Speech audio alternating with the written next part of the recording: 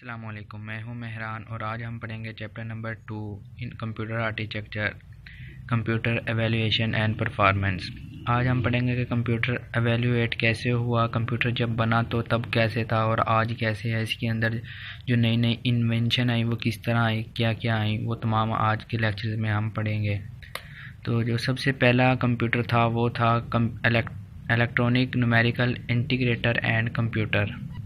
دراصل ہم کمپیوٹر کا بیک گراؤنڈ پڑھ رہے ہیں کہ کمپیوٹر شروع میں کیسا تھا تو اس کو ہم ان شارٹ ان آئی کا ان آئی اس طرح بھی پڑھتے ہیں یا ای این آئی اے سی یہ اس کی شارٹ فارم ہے۔ تو اس کے اندر کیا تھا؟ ایکٹ اینڈ مونچلی یہ ان کے بنانے والے تھے اور اس کو یونیورسٹی آف پینسلوانیا میں بنایا گیا تھا۔ تو جو یہ جو سٹارٹ ہوا یہ نائنٹین فورٹی تھری میں سٹارٹ ہوا اور اس کو جو اختتام ہوا تھا وہ نائنٹین فورٹی فور میں ہوا تھا۔ اور یہ یوز ہوتا رہا نائنٹین ففٹی فائیو تک یہ یوز ہوتا رہا یعنی کہ کافی ٹائم اس کو یوز کیا گیا۔ آپ کو زیادہ اس کے بارے میں یاد نہیں رکھنا، صرف یہ مین مین چیزیں کہ نائنٹین فورٹی فائیو میں یہ یوز ہوا، اس کے بعد ختم یہ نائنٹین فورٹی سکس میں ہوا تھا اور یوز ہوتا رہا نائنٹین ففٹی فائیو تک۔ مزید ڈیٹیل اس کے یہ ہیں کہ ڈیسیملز ناٹ بائنری اس کے اندر کیا ہوتا تھا؟ ڈیسیمل جو ہیں وہ یوز ہوتا تھی بائنری نہیں تھی تب۔ تو تب رجسٹرز کا دور تو نہیں تھا، تب کومولیٹرز وغیرہ یوز ہوتے تھے جو آگے ہم چیپٹر میں پڑھیں گے۔ اس میں کیا ہوتا تھا کہ بائنری تو اب بعد والے کمپیوٹرز میں آئی ہیں، تب بائنری نہیں تھی۔ تو کیا ہوتا تھا ڈیجٹس جو ٹین ڈیجٹس کے لیے ٹونٹی کومولیٹر کو یوز کیا جاتا تھا۔ اور پروگرام اگر بند کرنا ہوتا تو ہم مینولی بند کرتے تھے، اس کو سوئچ کرتے تھے یا اس کو ایگزیکیوٹ کرنا ہوتا تھا۔ اس کی جو اس کے اندر ویکیوم ٹیوبز ہیں، وہ اٹھارہ ہزار تقریباً ویکیوم ٹیوبز اس کے اندر یوز ہوتی تھی اور تب اس کا وزن تھا تیس ٹن، اور اس کی جو اسکیئر فٹ یا اس کی ایریا وہ کور کرتا تھا، وہ پندرہ ہزار feet square feet area cover کرتا تھا۔ اتنا بڑا کمپیوٹر جو پہلا کمپیوٹر یاد ہوا تھا۔ اور یہ کلو واٹ کنزمپشن کتنی تھی؟ ون فورٹی کلو واٹ یہ بجلی کنزم کرتا تھا۔ اور ایڈیشن اور اگر کسی چیز کو جمع کرنا ہوتا تھا ایڈیشن پرفارم کے لیے جو ٹائم ریکوائر تھا، اس کو پانچ ہزار سیکنڈ وہ لیتا تھا اس کو کسی بھی چیز کو ایڈیشن کرنے کے لیے۔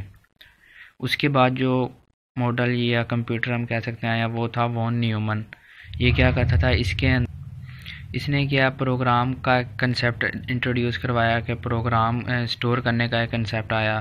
اس کے اندر مین میموری کو انٹروڈیوس کروایا گیا۔ پروگرام جو تھا وہ مین میموری کے اندر سے اسٹور ہوا کرتا تھا۔ اور A L U operating system اور بائنری جیسے کہ پہلے اس میں نہیں تھا، تو اس کے اندر بائنری بھی لے کر آیا۔ ہے اس کے اندر مین میموری اپنے اندر پروگرامز اور ڈیٹا کو اسٹور کرتی تھی۔ اے ایل یو آپریشن یعنی ارتھمیٹک لاجک آپریشن جو تھے، وہ بائنری کے اندر سولو ہونے لگے۔ جو کنٹرول یونٹ تھا وہ کیا کرتا تھا؟ اس کے اندر میموری سے انسٹرکشنز کو گیٹ کرتا تھا، اس کو اگر کوئی کسی کو ایگزیکیوٹ کرنا ہوتا تھا، تو مطلب یہ تھا کہ پروگرام جو تھا وہ میموری کے اندر سٹور ہونے لگ گیا۔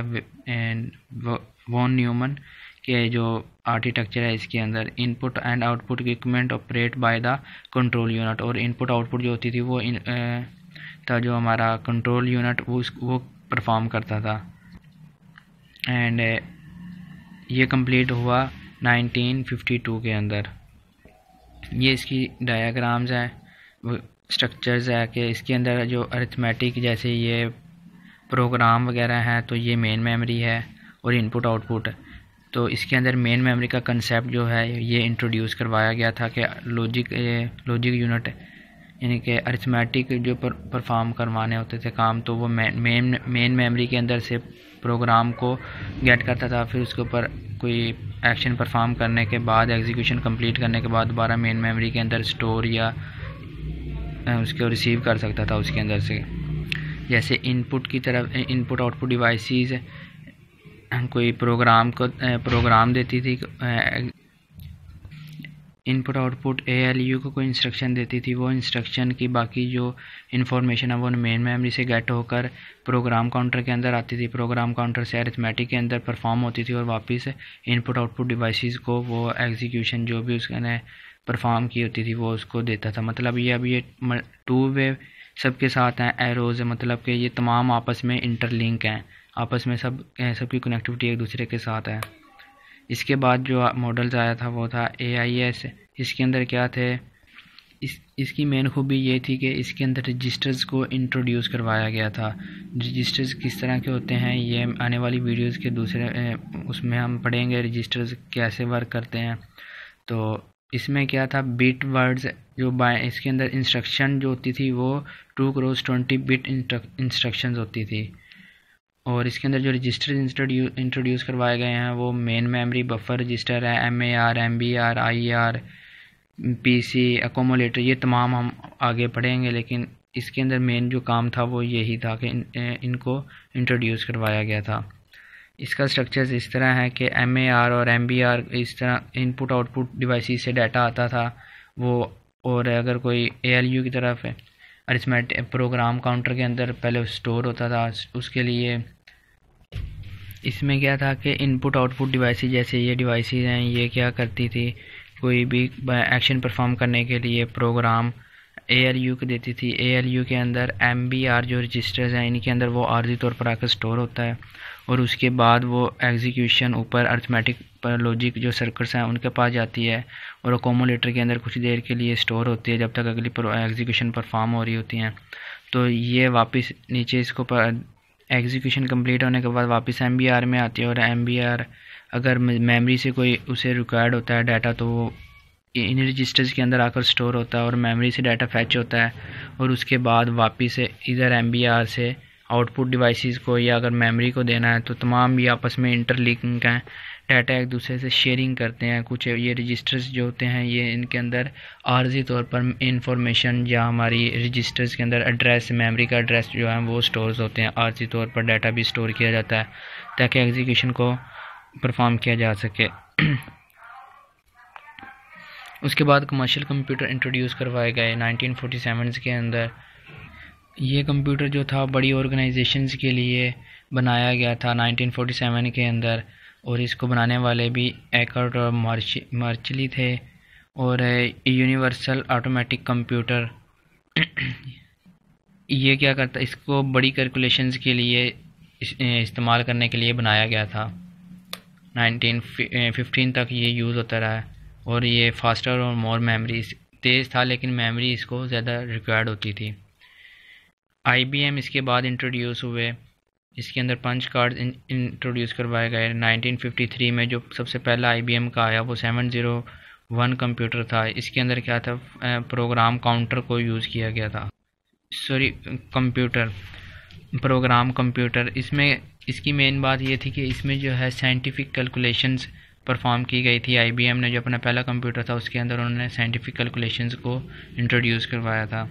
اس کے بعد نائنٹین ففٹی فائیو میں سیون زیرو ٹو ان کا کمپیوٹر آیا، جس میں تھا بزنس اپلیکیشنز وغیرہ انہوں نے انٹروڈیوس کروائیں اور اس کے بعد ان کی یہ سیریز چلتی گئی سیون سیون ہنڈریڈ سے سیون تھاؤزنڈ تک. آئی بی ایم نے جو مین کام اس کے اندر کیا تھا، وہ تھا ٹرانزسٹرز کو انٹروڈیوس کروایا تھا. ٹرانزسٹرز کیا کرتے ہیں ان کو ریپلیس کیا گیا ویکیوم ٹیوب سے، جس کی وجہ سے کیا ہوا کہ جو کمپیوٹر کا سائز تھا وہ کم ہو گیا اور ٹرانزسٹر نے اس کی جگہ لے لی۔ ٹرانزسٹر بہت سمال نظر نہ آنے والے بھی تقریباً۔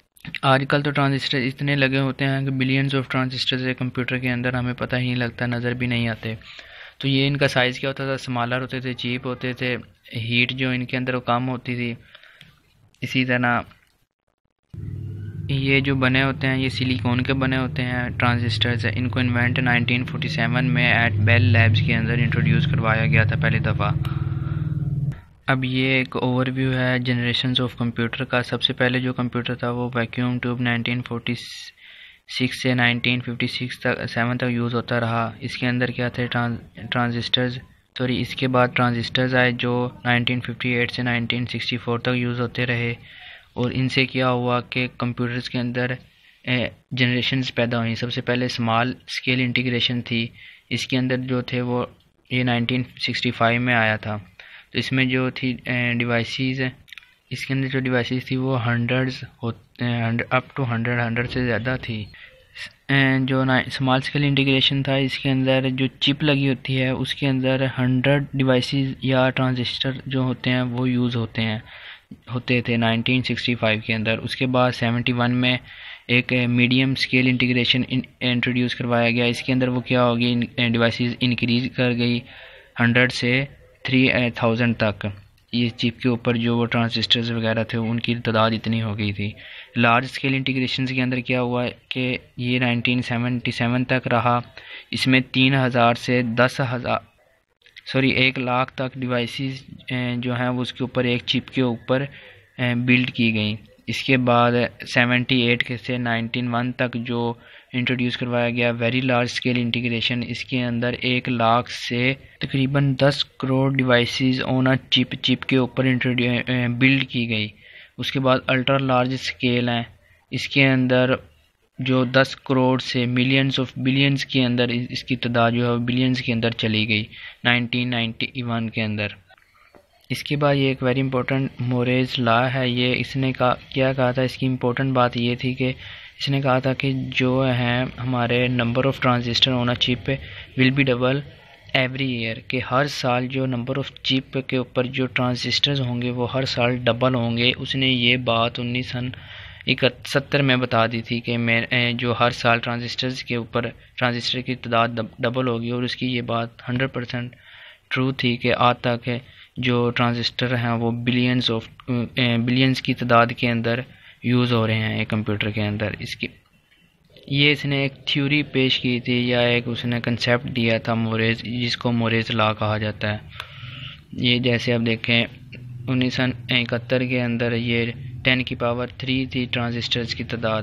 اور اگر اب ہم دیکھیں نائنٹین ٹو ہنڈریڈ سے ابو تو یہ ٹین کی پاور نائن یعنی کہ ون بلین سے بھی زیادہ ٹرانزسٹرز اس وقت یوز ہو رہے ہیں. ہر سال اس کی تعداد انکریز ہو رہی ہے. تو یہ موریز لا ہے. اس کے بعد جو سیریز آئی وہ آئی بی ایم کی تھی. I B M three sixty انہوں نے ریپلیس کر دیا تھا.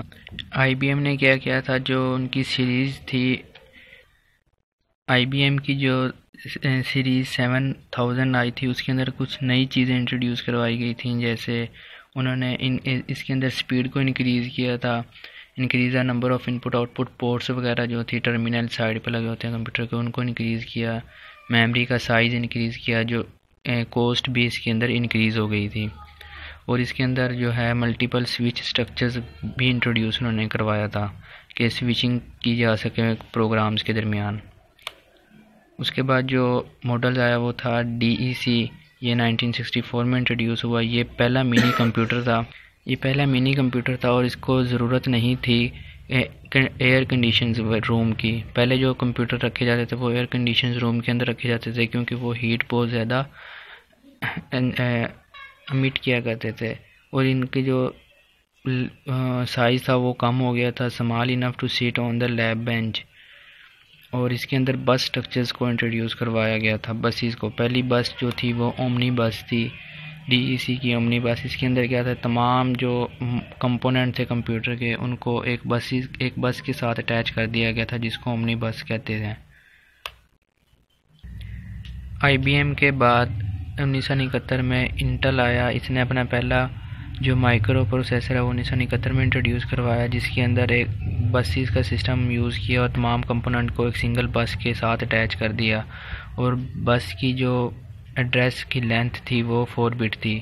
اور انیس سو بہتر میں انہوں نے اپنا ایک دوسرا کمپیوٹر انٹروڈیوس کروایا ایٹ ڈبل زیرو ایٹ اس کی جو بس کی ایڈریس کی جو بس ڈیٹا کیری کر سکتی تھی، وہ ایٹ بٹ تھا۔ اور یہ دونوں ہی جو تھے وہ اسپیسیفک اپلیکیشنز کو ایگزیکیوٹ کروانے کے لیے بنائے گئے تھے۔ تو انیس سو چوہتر سے چوہتر میں ایٹ زیرو ایٹ زیرو یہ پہلا general purpose microprocessor introduce کروایا گیا تھا جو تمام جنرل پرپز تھا۔ پہلے جو تھے وہ اسپیسیفک اپلیکیشن کے لیے تھے، یہ جنرل پرپز تھے۔ تو امید کرتا ہوں کہ آپ کو سمجھ آ گئی ہوگی۔ آج کا لیکچر یہیں تک تھا۔ کہ کمپیوٹر کی ایویلیویشنز کب اور کہاں، کیسے کیسے ہوتی گئی اور کون سی کمپنیز کب اور کب، کیسے آئیں؟ تو نیکسٹ لیکچرز میں ہم جو ہیں وہ کمپیوٹر کی پرفارمنس کو دیکھیں گے۔ تب تک کے لیے اپنا خیال رکھیے گا۔ اللہ حافظ۔